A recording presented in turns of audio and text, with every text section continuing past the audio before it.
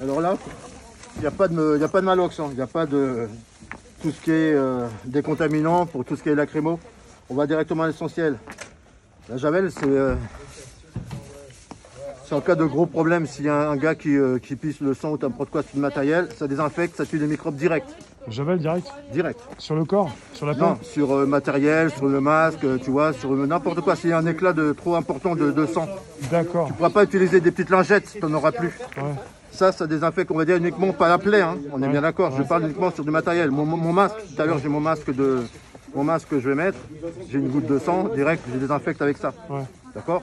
Ou un objet, mais pas sur du, pas sur la matière, pas sur du, pas sur le corps. Toujours des petites chaussettes parce qu'on aura sûrement des personnes qui auront des engelures aux pieds. Vois, on va sûrement soigner des personnes qui ont aux pieds, donc euh, pensez à avoir quand même une petite chaussette à côté. Si on doit faire un petit bandage pour lui remettre une chaussette, parce qu'en sachant qu'ils sont peut-être ils, ils ont le pied sale. Un classique, antiseptique. Ouais. On a, bah tiens, regarde, c'est justement là, je l'ai le gros ici, tiens, je sais pas si tu peux voir.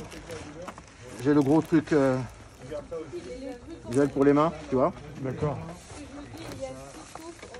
ok. Le gros ici. On a les rebalises, au, cas où. On a les couvertures de survie. Bombe froid classique, hein, arnica, de tous les médicaments connaissent. Ça, je l'ai en spray parce qu'on l'a en pommade, mais c'est bien en spray, c'est l'arnica, c'est pour tout, tout ce qui est coup. D'accord? Les fameux coups de tonfa et tout le bordel, on utilisait ça. Donc, moi, j'ai changé un peu ma, ma trousse par rapport à la mission donnée. On a ce que vous voyez dans les, euh, dans les pharmacies, quoi. C'est pour, tout- pour soigner tout ce qui est les crevasses, voilà. Parce que je pense qu'on en aura. Ok? Et là, pareil, pour les talons. Vous voyez? Les pieds secs. Les personnes marchent souvent, donc des fois, ils ont les pieds un peu, un peu bousillés. Donc, on ne peut pas mettre euh, la compresse et de conneries. Ça, c'est une petite crème, en fait. Ouais. Crème spéciale pieds secs. Tu vois, les personnes qui, qui ont mal aux pieds. On a toujours les, les- les poches froides, comme d'habitude. hein.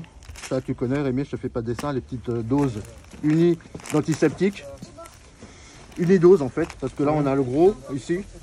Ouais. Et là, c'est les petites doses qu'on a en poche, voilà. C'est très urgent. Pour travailler dans l'urgence, plutôt.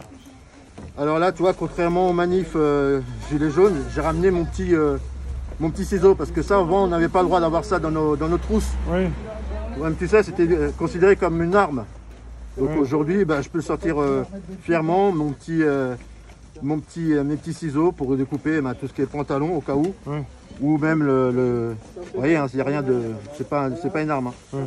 Ou découper tout ce qui est sparadrap ou bande de gaz, ça va plus vite comme ça, d'accord? Donc en fait, j'ai adapté ma trousse par rapport à, par rapport à ce qu'on va faire ce soir. Toi, tu, tu, tu pas, forcément donner des, des- des sacs, tu vas faire aussi attention à toutes ces On fait personnes. les deux, les exactement. en Si une personne elle a une engelure, elle a mal au pied ou euh, il a un, un pansement à se faire faire, il a il fait désinfecter une plaie, euh, ben c'est ça. On est là pour ça. Ah bah.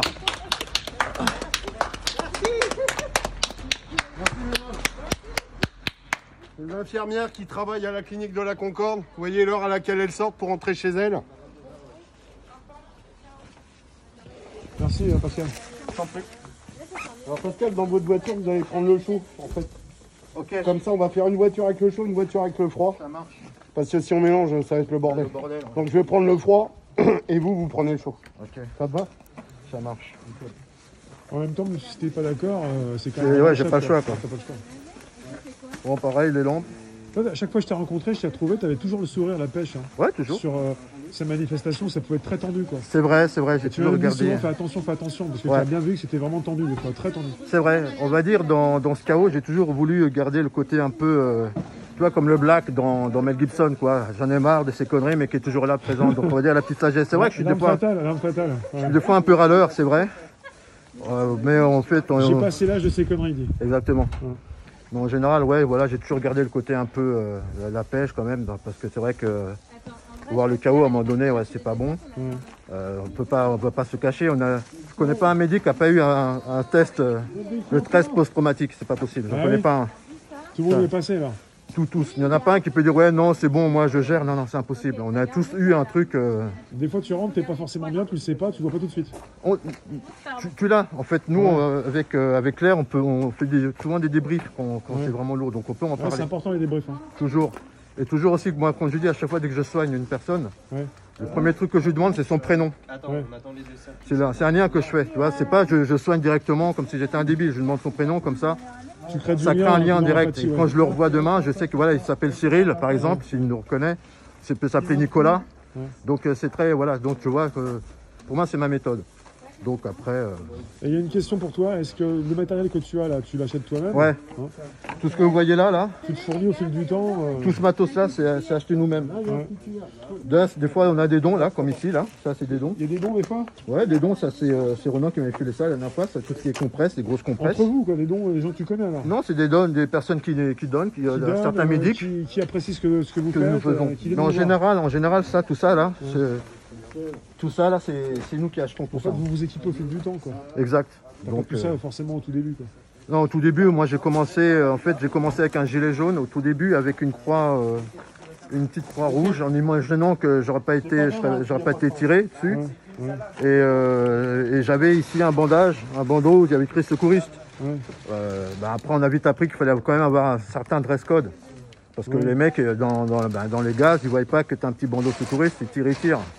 Et même, Donc, et même, il y a beaucoup, même avec le dress code, même avec euh, bah, ton, ton, bah, tes habits, euh, tu peux aussi euh, bah, être victime de. Je veux dire oui et non. Moi, je, je pars du principe qu'il y a du 50-50.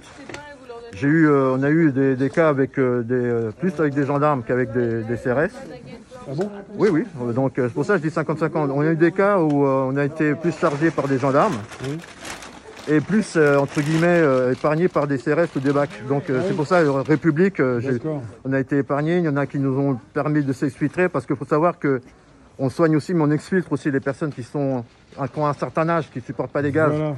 C'est ça, souvent avec les Les gaz. CRS pour pouvoir comprennent. sortir et nous- je ne vais pas vous dire qu'ils nous font un clin d'œil, qu'ils nous disent bravo, mais ils comprennent, ils nous laissent passer, ils nous laissent re-rentrer. Donc je ne vais pas dire que c'est l'open bar, mais s'ils étaient vraiment obtus et voulaient vraiment nous empêcher de le faire, on n'aurait pas pu le faire. Donc on vous laisse bosser. Après, je pense, comme tu dis, euh, Rémi, je pense que certains d'entre nous qui connaissent, ils connaissent notre visage, ils connaissent notre, notre ganache, ils connaissent notre façon de travailler. Ils voient qu'on est quand même assez carré. On n'est pas des médics crasseux ou crasseuses. Ouais. On n'est pas là pour uniquement jouer l'héros, on est là pour faire du bon taf. Le taf, c'est de a- il y a médic et médic, quoi. Il y a médic et médic et secouriste, mais peu importe. Toi, tu reconnais, je crois que les anciens reconnaissent les bons, et les nouveaux médics qui arrivent, qui veulent imaginer jouer les héros. Non, un bon secouriste, avant tout, c'est l'altruisme. On est là pour sauver des vies. Point barre. Après, médic, c'est devenu une marque, parce que c'est plus simple de nous appeler médic que de nous crier Eh, secouriste. Ouais. Donc voilà, avant c'était strict médic, médic. Donc nous on a gardé le logo parce qu'on faisait partie du mouvement des médics volontaires de France. Mais maintenant tu as remarqué que les médics, on est tous ensemble, on se connaît tous maintenant. Même si c'est Paris Secouriste, même si c'est Blue Médic, même si c'est Secouriste euh, de France, même si c'est ceux du 57, on se connaît tous maintenant. Ceux de Toulouse, ceux de, ceux de Montpellier, on se connaît tous. Donc Oui. euh, c'est un petit clin d'œil, on sait de quoi, de quoi on y retourne. Donc quand je parlais des médics euh, crasseux, voilà, c'est les médics crasseux. On voit très bien leur tenue, leur dégaine, qui n'ont rien à voir dans mode médic. Je dis bien, pas les anciens, les vétérans, les vrais, les purs et durs. Donc là, ils se reconnaîtront. Les nouveaux qui viennent, là, c'est même pas la peine, j'en parle même pas. D'accord donc, euh, donc voilà, donc en gros, c'est notre matos qu'on a acheté nous-mêmes, et puis euh, en général, c'est ça. Ouais. Chacun son matos. Voilà, exact.